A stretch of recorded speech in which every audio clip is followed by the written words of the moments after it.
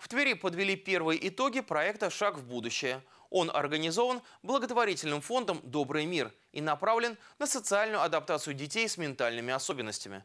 На протяжении года для семей, столкнувшихся с такими заболеваниями, как аутизм или синдром Дауна, работали ремесленные мастерские.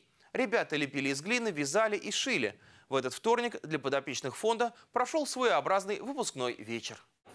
Галина Акимова воспитывает особенного ребенка. Ее сыну Диме врачи поставили диагноз «ранний детский аутизм». Заболевание, рассказывает Галина, тяжелое. Жить с ним непросто, однако упорная работа и терпение всегда вознаграждаются, признается женщина. Я даже не сказала бы, что это заболевание. Да, это вот особое состояние ребенка.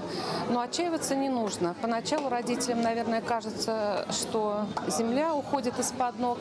Но, к счастью, кроме родительской любви, есть еще организации, которых сейчас становится все больше и больше в городе.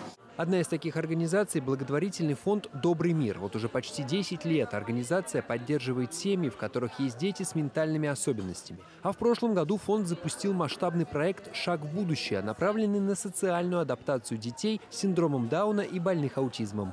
Была задача подготовить детей к тому, чтобы они научились выполнять работу, общаться, дружить и так далее. То есть на разные социальные навыки в том числе. Для ребят и их родителей были организованы так называемые ремесленные мастерские. Подопечные фонда могли выбрать занятия, подходящее именно для них. Ребята лепили из глины, вязали и шили. На выпускном вечере некоторые из более чем 150 работ были представлены на всеобщее обозрение. Мой ребенок не только просился на глину и ждал пятницы.